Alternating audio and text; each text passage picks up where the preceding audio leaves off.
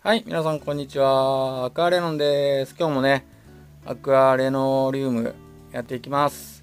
今回ね、プラパロベビーちゃんですね。孵化後2ヶ月目。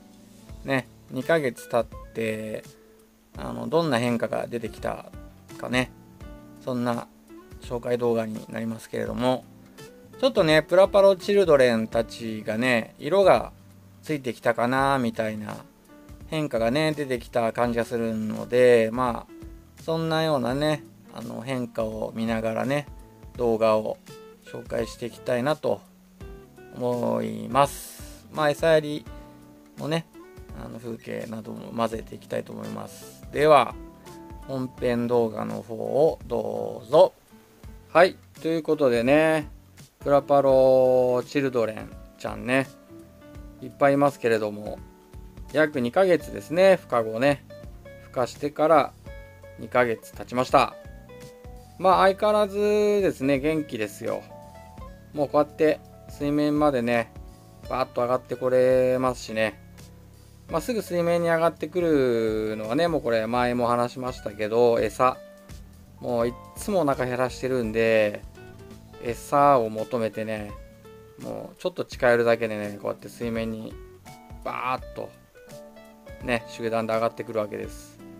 まあでも人間の子供でもね、ほんと、何歳ぐらい？人間だと何歳ぐらいなんだろうな？5歳ぐらいになるんですかね。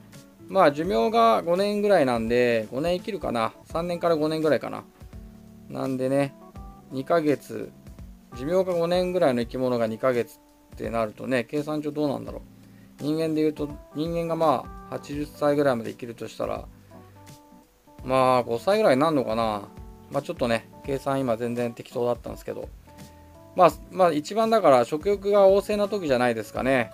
だからこうやってね、寄ってくるんだと思いますけれども。まあこうやって餌、今与えましたけど、まあまだね、稚魚用のこの粉末フードね、与えてるんですけど、まあ水面ですよ、ほとんどみんな。水面まで来て。下の方で食べてるプラパロチルドレンがね前の動画だと結構何匹かいたんですけど何匹かっていうか10匹ぐらい。2ヶ月目にし2ヶ月目でね今ね。結構その数も減ってきましたよね。なんかもうほとんどが9割ぐらい。9割ぐらいがもう水面まで来てもう水面に浮いてる状態でもうパクついてますよね。これ沈んでいくんですけどだんだんね。だからこう下の方中間のところで食べてる子たちもいればそこの方までそこの方でね待機して食べてる子たちもいたんですけどほとんどもう今は水面まで行ってるのが9割ぐらい。で中間ぐらいまで行ってるのが0.5割ぐらい。でそこで待ってる形なのがもう0.5ぐらいかな。ほとんど。もう今はねそこの方にね餌が行ったのでそこの方に行ってますけど。ということでね、パラパロチルドレンがね、2ヶ月経ちましたの紹介動画でした。ご視聴ありがとうございました。ごきげんよう。チャンネル登録もよろしくお願いします。すっごいです。食欲が半端ない。